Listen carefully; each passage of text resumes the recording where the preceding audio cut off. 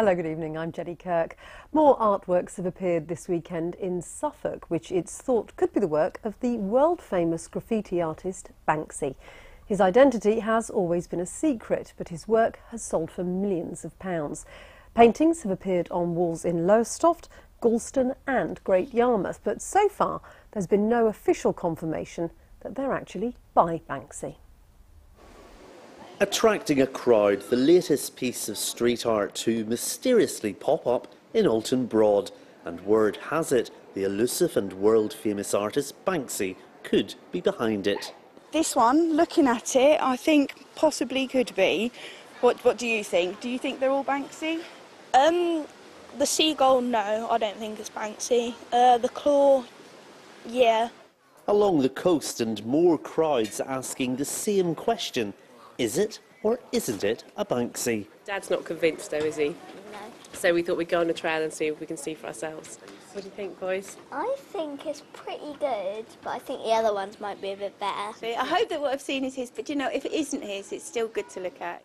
Gorleston, Lowestoft and Great Yarmouth are all hoping to become the UK City of Culture in 2025. So could this be Banksy's way of endorsing the bid? Seven pieces have popped up along the coast this weekend, and artist Ruben Cruz from Great Yarmouth believes this is Banksy's way of supporting the bid. And how convinced are you that they are genuine Banksys then? I believe it's Banksy because if we look at Banksy's style, the stencil looks like he is never using a full can of paint. So I think all this kind of mystery uh, needs to be Banksy. For sure, needs to be Banksy. For now, the speculation continues, but could Alan from Oulton Broad have seen the artist actually at work? I was walking along the path and there were two guys with high-vis jackets and they'd set up some scaffolding, obviously there, and I thought they were doing something to the bridge. Um, so I never questioned it, I just walked past and uh, I should have stopped and looked really, but you just don't, do you?